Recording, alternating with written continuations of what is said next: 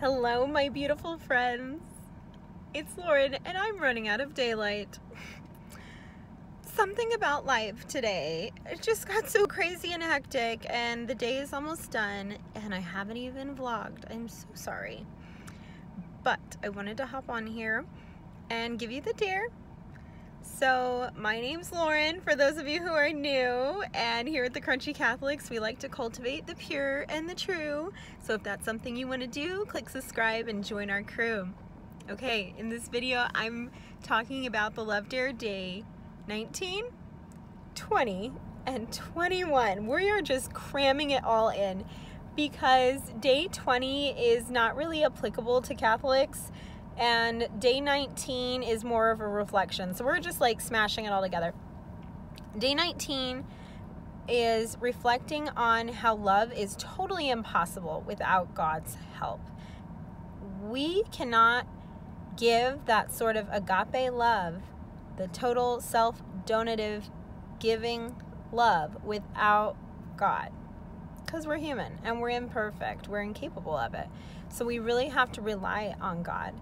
And day 20, 19, and then day 20 goes into um, just purifying yourself. Excuse me. Um, which I'm just going to like sum that up with if you got some sins on your soul, go to confession.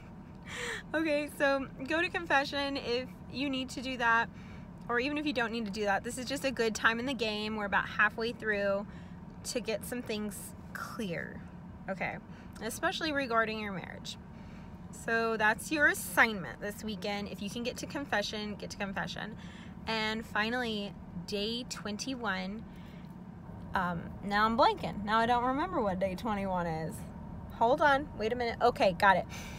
Day 21 is to carve out, uh, schedule out some prayer time. So for the next 20 days, um, the rest of Lent, decide when you're going to pray and stick to it.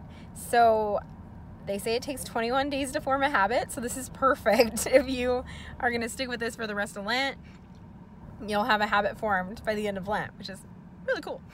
Um, a lot of you probably already have habitual prayer times, and that's amazing. I personally have not done that in a while. I've been just like squeezing in my prayer, and it's something I've been wanting to do. So I'm really glad, I'm really glad that this is an assignment. So, your assignments are go to confession this weekend, schedule some prayer time, and stick with it.